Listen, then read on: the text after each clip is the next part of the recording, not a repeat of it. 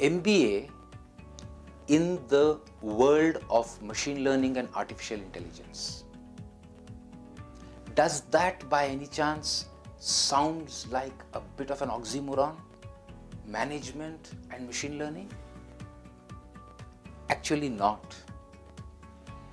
You know, the entire purpose or value of data science, analytics, use of machine learning, and all of that sciences is to help a decision maker make a superior decision, make a more informed decision, and in as short a time as possible to the point where can it be real time?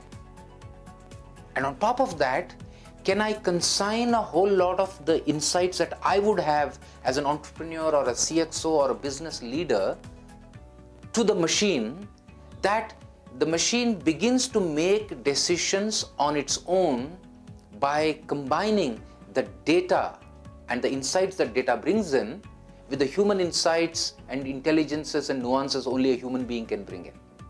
That's what is the relevance of MBA in a machine learning world. Which means AI and ML are not the territories of a technology guy or a data scientist. They are actually the domains of the business manager. And that's what this, ses- this session is all about.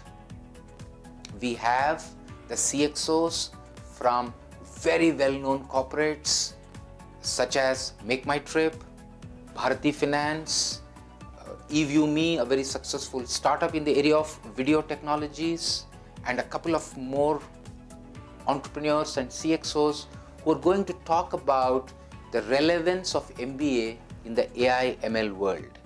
So, if you are a youngster who's looking at pursuing a long career which spans the data sciences and related areas on one hand and it want to rise to the top of a large corporation or build your own startup to get to the top of the value chain this is the session that you must attend and that is MBA in the AI and ML world. I'll see you at that session. All the best.